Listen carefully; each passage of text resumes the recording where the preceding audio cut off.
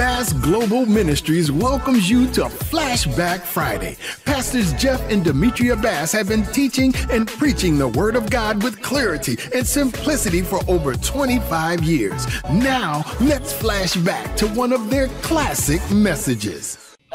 We forget, we get amnesia. Oh my God, did you say I got to give? Yeah. Oh, it's a, here come a great testing right after the great blessing. You get promoted on your job. Here come a here come a here come a test. So get ready for it. Don't think it's strange. It is unfortunate that the widow's faith should fail. Verse 18 talks about that. But for the right way to react to disappointment and trials, we need to look at 1 Samuel 3:18. Psalm 119 and 75 talks about how we ought to react when it comes. The bad things. Give me the boy, was Elijah's answer. I'm not going to those scriptures because I got to keep going. For he knew he could raise the dead boy to life again. This is the first recorded instance of resurrection in the Bible. You see, Elijah had been almost dead spiritually, and God resurrected his dead spirit. And now Elijah had the faith to ask God to resurrect this young boy. The miracle brought forth a testimony of faith from the woman. But it couldn't have happened if the man of God didn't have the faith of God to bring the boy up. And the only reason he could do that is because he had experienced God resurrecting him. So if you don't want to go through the resurrection period, that means you don't want to go through the death. When you're thinking of natural death, but a lot of times what they talk about is dying to yourself, dying to your will, dying to your stubbornness, dying to your selfishness, dying to your pride, dying to your rebellion. Dying to your envy. I envy you. Well, you got to die to that because God ain't going to bless that mess. I'm helping somebody this morning. Yes, sir. On the tape, I don't know your name. What's your name? But I'm helping you. Yes, sir. What season are you in? Are you in a dry season, depleted season, or a dead season? Mm. It really doesn't matter to God because He's a season specialist. He's a seasonologist. I just made it up. I'm going to patent that word. He's a seasonologist. You can do that. Pat Riley patented it three-peat. If you ever try to use three-peat, you're going to get sued by the former Lake or uh, the former Laker coach who's now the Miami Heat coach.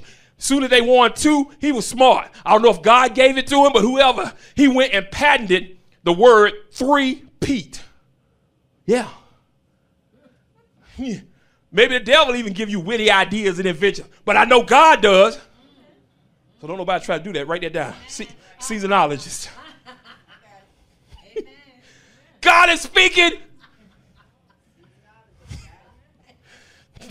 now, having been trained and tested, he, this is deep here, in private, the prophet is now ready for his public ministry.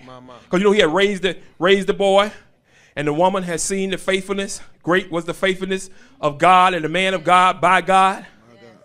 So, God commands him, now go back. Mm. Let me. Eh, eh, eh. Tom, I can talk to you. The problem is the same enemy that we trying to run away from. My God wants us to go back. Not by not by not by my might, not by my strength, but by his power. See, God wants you to go and get equipped. And then he wants you to go back. But see, if he wants to say, ah, Ooh, I can't go back over there to him, I'm scared. Yeah, you are will walk in the power and the might and the strength of the Lord. Let the Lord fight your battle. Now he done got equipped. Now he done got energized. He done did like underdog because in that ring was a super energy pill. He was ready to go now and take on the world in the power of God. See, before he was scared. He's not a wimp anymore. He's not a wimp anymore. God commanded him to face wicked King Ahab. Let's admire Elijah's patience as he waited three years to preach one sermon. And most of us complaining because we've been waiting. three years to preach one sermon. When they gonna let me preach? When am I gonna talk? When am I gonna cut my record? When am I gonna get my promotion? When hey.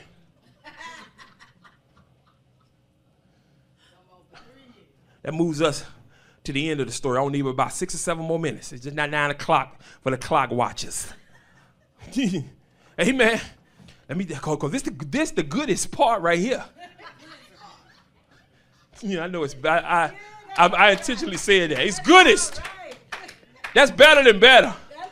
That's goodest. Man, that's that's spoon licking good. When mama cooked that cake and gave you that spoon and let you lick that, that, that hey, hey.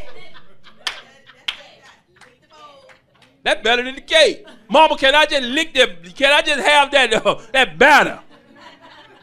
Thanks for joining us on Flashback Friday. If you enjoyed this message and would like to hear more, join us this weekend online for an encouraging and life changing message. We are Bass Global Ministries, and we're building an online community of believers who desire to get closer to Christ and grow deeper in God's Word. Visit our website at www.bassglobalministries.com. That's www.bassglobalministries.com for service times and more information. Bass Global Ministries, the place to gather, grow, and go. Be blessed.